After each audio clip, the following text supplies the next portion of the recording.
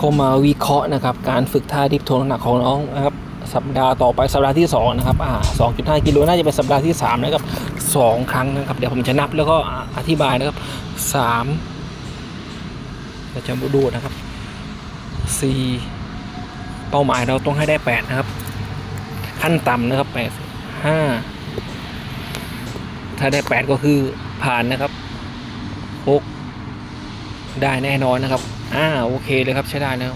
เจ็ดผมวิเคราะห์ได้นะครับเอาอีกครั้งหนึ่งแปดอ่าก็คือถึงเป้าหมายแปดครั้งแล้วนะครับ ตอนนี้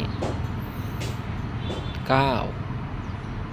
ผมก็ไม่แน่ใจนะครับว่าน้องถ่วงเท่าไรถ้าถ่วงสิบนะครับ ถ้าถ่วงน้ำหนักเดิม2.5ก็คือว่าผ่านนะครับ11อ่าได้แน่นอนนะครับ 12อ่า12ครั้งก็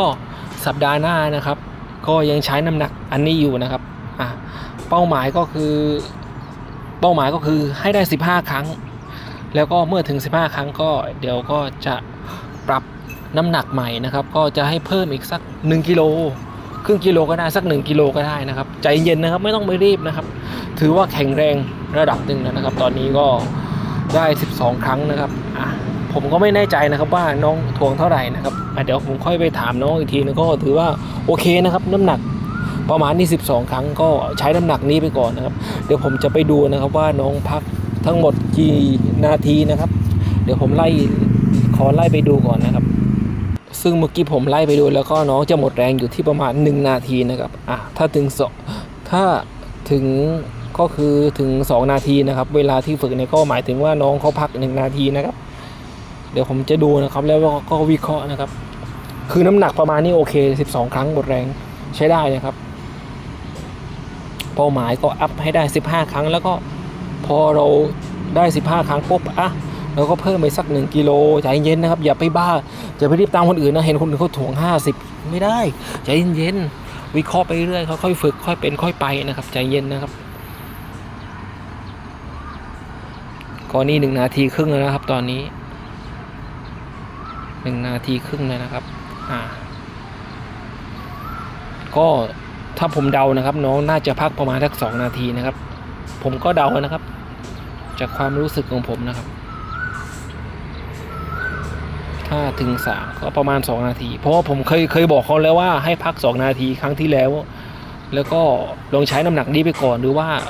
ลดน้ำหนักไปนะครับ แต่น้ำหนัก ก็คือ 12 ครั้งหมดแรงถือว่าโอเคเลยนะครับอะน้องพักประมาณ 2 นาทีนะครับอะผมดูอะประมาณ 2 นาที เดี๋ยวนึงเลยไปครับเกินมา 5 วินะครับ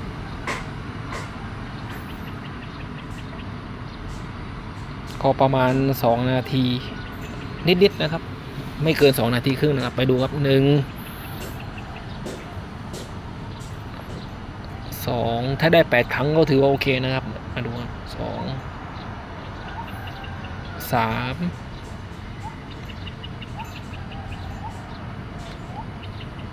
สี่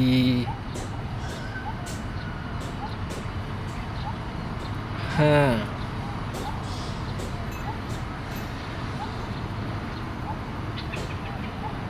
หกหกครั้ง เอาไม่เป็นไรครับก็โอเคนะครับก็ใช้น้ำหนักนี้ไปก่อนนะครับก็เราจะดูกันยาวๆเลยนะครับ ดูให้จบนะครับสี่ท่าท่าละสิบเซตเป็นสี่สิบเซตนะครับก็ท่าต่อไปนะครับ ก็คือท่า Diamond Push Up นะครับเป็นท่าที่สองนะครับอะซึ่งก็ผมก็บอกน้องแล้วหมดแรง ฝึกจนหมดแรงพักหนึ่งนาที แล้วก็มาใส่เซตต่อไปพักหนึ่งนาทีใส่เซตต่อไปนะครับสิบสิบเซตนี่คือเรื่องจริงนะครับอะแล้วก็ 10 เซตแล้วก็เดียวนะครับ ก็คือได้สักพักหนึ่งผมก็น่าจะฝึกกันประมาณสักอีกประมาณ 3 สัปดาห์ ประมาณทัก3สัปดาห์ ผมจะให้คือที่ผมดูนะ ผมจะให้ฝึกท่าดิบบาเดียวเลย อกบนผมไม่ให้ฝึกอ่าแปลกไหมครับ ผมจะให้ฝึกท่าดิบบาเดียวเลยอ่าเล่นของย่างนะครับอีกประมาณ 3 สัปดาห์ ผมจะให้ฝึกดิบบาเดียว อกบนไว้ที่หลังมันไม่ได้จำเป็นอะไรมากมายอกบนอะผมบอกเลย เอา dip บาร์เดี่ยวก่อนเพราะว่าน้องเขาบอกว่า ก็คือถ้าก็คือเขาอยากจะทำ muscle up ได้อ่าน้องเขาบอกว่าเขาจะทำ muscle up ได้ ซึ่ง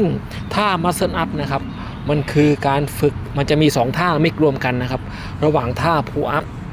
อ่าท่าพูอัพท่าดึงข้อ 2 กับท่า single dip dip บาร์เดี่ยวคุณไปดูเลยครับท่าท่าก็คือ muscle up นะครับ ซึ่งผมไม่ได้ฝึกนะครับ ก็แต่ผมแค่แค่เป็น guideline นะครับ จากประสบการณ์ครึ่งซึ่งผมก็ดูแล้วนะครับ เขาท่าต่อไปนะครับท่าที่ 3 ก็คือท่า push up วิดพื้นนะครับปกตินะครับก็พัก 1 นาทีเหมือนกันก็ใส่1นาทีใส่ก็ 10 เซตนะครับ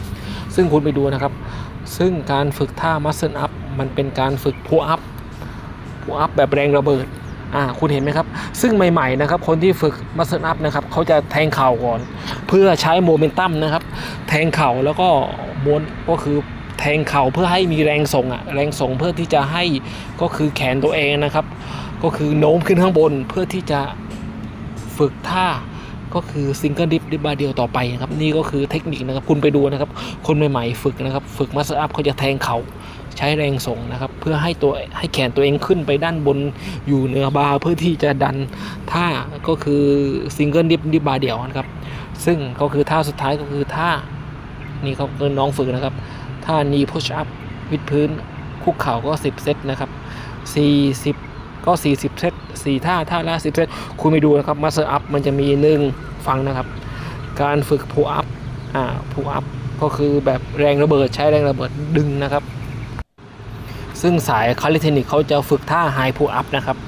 ไฮพูอัพว่าแบบสูงอะดึงให้แบบสูงนะครับ เพื่อที่ให้